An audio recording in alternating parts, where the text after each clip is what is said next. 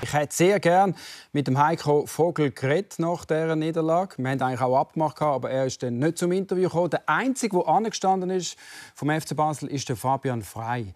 Ich habe mit ihm vor der Sendung reden und ich habe ihn zuerst gefragt, wie er die aufgeheizte Stimmung nach dem Match wahrgenommen hat. Äh, ja, natürlich. Äh, dass Emotionen im Spiel sind so kurz nach dem, ähm, nach dem Abpfiff, klar. Ähm, ich glaube, uns allen geht es ähnlich, oder zumindest Anhänger äh, von dem Verein. Sechs Fans, Spieler oder Mitarbeitende. Ähm, ja, ist eine schwierige Phase für uns. Ähm, ist klar, dass nach so einem Spiel der Frust raus muss.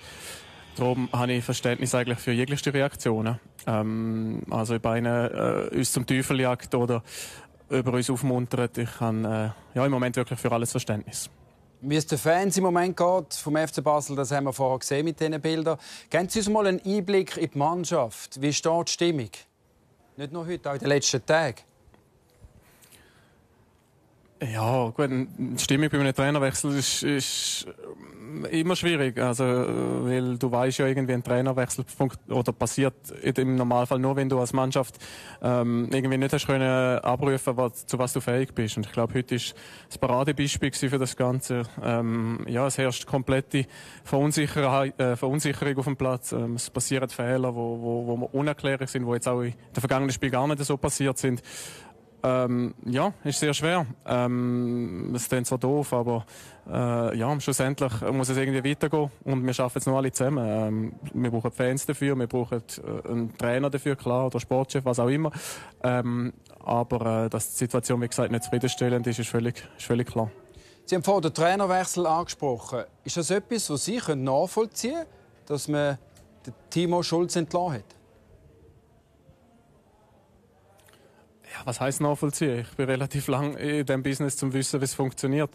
Ähm, schlussendlich, wenn man die nackten Zahlen anschaut, sind wir irgendwie mit vier Punkten äh, fast am Ende von der, von der Tabelle gewesen. Also, wie soll ich sagen, gibt's gibt's äh, wenig Sachen, wo eigentlich, wo ich jetzt müsste sagen, hey, das kommt jetzt komplett aus dem Nichts. Ähm, aber du willst ja gleich irgendwie immer mit dem, oder im Normalfall immer mit dem Trainer weitermachen, weil du denkst, du kannst das Ruder irgendwie noch um, umreißen, ähm, bist auch in der Verantwortung, dass, ja, auch als Spieler, ich meine, musst deine Leistung zeigen und dass wir uns unter Wert im Moment verkaufen, ähm, steht außer Frage. Ähm, ja, ist, ja, für jedes Spieler unterschiedlich. Der eine oder andere sieht natürlich eine neue Chance, wenn es einen neuen Trainer gibt. Ein anderer ist vielleicht ein bisschen trauriger, weil, weil ein Trainer, der auf ihn gesetzt hat, nicht mehr dabei ist.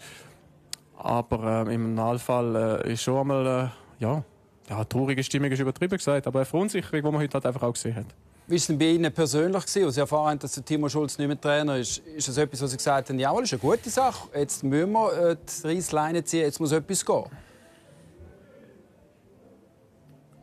Ja, pff, nein, in erster Linie bist du, eben, wie gesagt, bist traurig, bist vielleicht auch gerade kurz schockiert. Ähm, ich meine, eben, wie gesagt, du, du weißt, wie es funktioniert. Es kommt ja nicht komplett aus dem Nichts raus, aber der Moment, wo es dann so ist, ist gleich irgendwie so, ist etwas Definitives. Und dann bist du im Normalfall am Anfang ein bisschen down, äh, redest mit den Mitspielern, wie es denen geht.